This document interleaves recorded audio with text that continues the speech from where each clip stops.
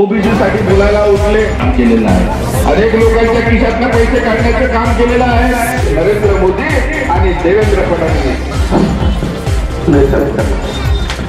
साल हो गए बीजेपी का नगराध्यक्ष है डेढ़ साल हो गए भंडारे शहर में एक भी काम नहीं पानी की इतनी अव्यवस्था है कि शहर के अंदर में लोग पानी के लिए बहुत परेशान हैं? किसानों की दशाएँ बहुत बुरी है।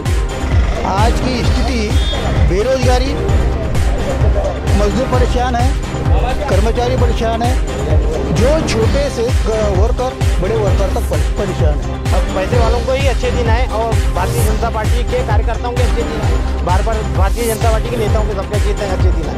इस बार की किसी के अच्छे दिन नहीं आए। उपचुनाव तभी होता है कि एकाधिक की मैयत होती है या उसका प्रमोशन होता है तब उपचुनाव होता है। इसलिए अपना स्वार्थ के लिए साढ़े तीन वर्ष अपना स्वार्थ पेंशन के लिए बना।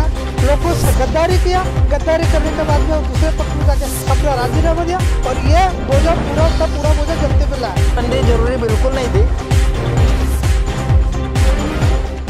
दर्शकों नमस्कार। मैं हूँ हसीब खान। एमएनएस के प्राइम शो में आप सभी का स्वागत है। आखिरकार गोंदिया भंडारा लोकसभा चुनाव के आ गए हैं नतीजे। मिल गया जनता को नायक। कांग्रेस और राष्ट्रवादी इस जीत का जलसा तो मना रहे हैं। मगर गोंदिया भंडारा लोकसभा के उपचुनाव में क्यों हारी भाजपा? ये सोचने वाली बात है। क्या दो स्थायी नेताओं की परवाह करते करते गुमराह हुए ये भाजपा कार्यकर्ता? 2014 के लोकसभा चुनाव जीतने के बाद भाजपा क्यों हारी इक्यावन हज़ार मतों से? आइए जानते हैं क्या है सच।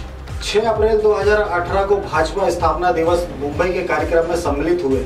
गोंदिया जिला के भाजपा कार्यकर्ताओं के साथ व्यवस्था के अभाव में हेमंत पटेल ने बदतमीजी की। लिहाजा गोंदिया शहर के भाजपाई अंदरूनी तौर पर प्रफुल्ल पटेल को मदद कर रहे थे। और यही कारण है राष्ट्रवादी कांग्रेस के उम्मीदवार मधुकर कुकड़े ने जीत का लहराया परचम।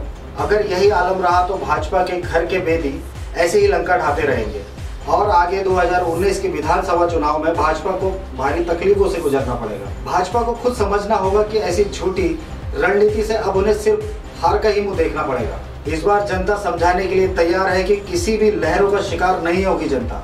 हम आपको ऐसे ही सच का सामना कराते रहेंगे, क्योंकि सच ज़रूरी है। नमस्कार।